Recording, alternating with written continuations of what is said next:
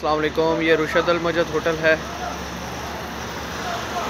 جو کہ سندھی مسجد والی گلی میں واقع ہے۔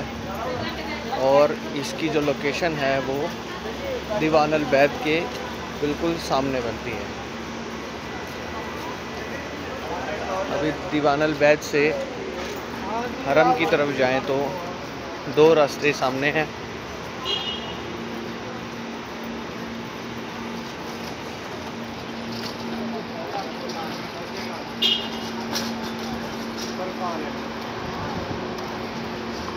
ایک اس متم کے رائٹ سائڈ سے اور ایک لیفٹ سائڈ سے۔ یہ دو راستے ہیں۔ جو لیفٹ سائڈ سے راستہ ہے۔ وہ تین منٹ کی واک پہ بروس وطنی کے سامنے سے نکلتا ہے۔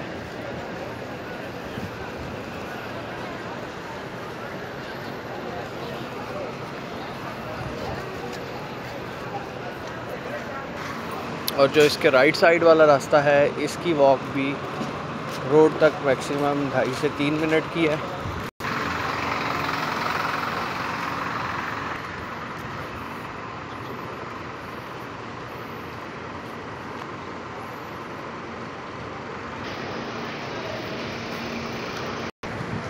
اور یہ امار خلیل ہوٹل کے بالکل سامنے سے باہر آتا ہے۔